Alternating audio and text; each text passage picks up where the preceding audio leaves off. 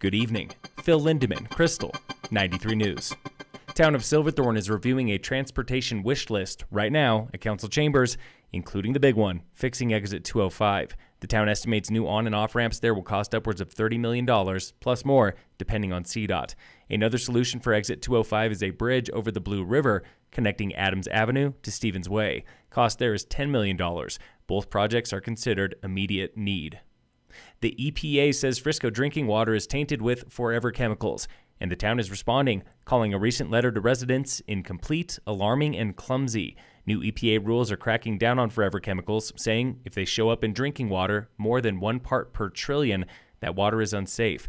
Frisco's forever chemicals traced back to one well. The town has closed that well, saying it will not reopen it until it's treated sometime next summer. These chemicals are also present in Dillon, Dillon Valley, East Dillon, and Silverthorne, not present in Breckenridge, Copper, and Keystone.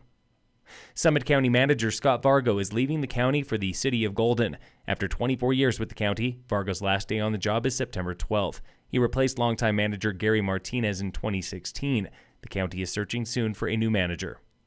Frisco is close to hiring its third town manager in three years, and he is coming from the other Summit County. Tom Fisher, county manager for Summit County, Utah, is top candidate for the Frisco gig. Council makes the offer later this month.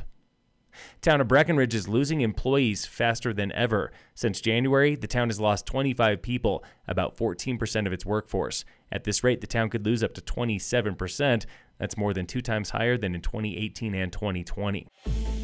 This week, on the state of Summit. A few years ago, was we didn't have enough tax revenues to uh, run our services. And now we've got healthy tax revenues. We just don't have any drivers to uh, run the system. That was Kent Willis, chairman of the Summit Stage Board, explaining why the stage will not return to half hour service anytime soon. School district, the ski areas, everybody's looking for drivers and uh, they're just not out there. Willis was talking to Frisco Council just minutes after Council was tackling the same question.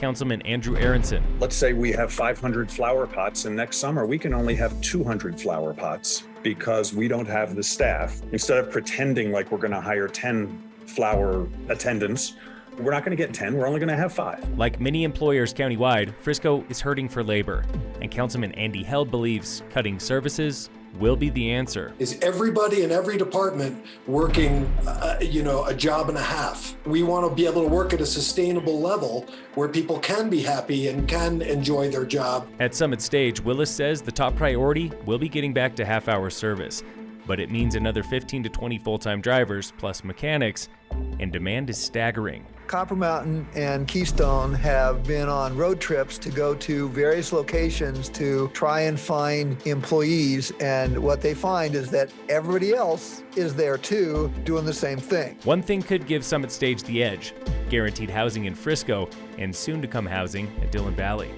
Tune in again next week for The State of Summit on Krystal 93. Local fire danger remains moderate today with no fire restrictions in Summit. In sports, the Rockies play the Padres tonight at 6:40. And in local sports, brought to you by Red Mountain Autos at their new location on Airport Road, leaving the start line in about 45 minutes are riders on the brand new Swan River Rampage mountain bike race. They're riding out of good times on Tiger Road to the Colorado Trail, Westridge, Muggins Gulch, and others. On-site registration is closed.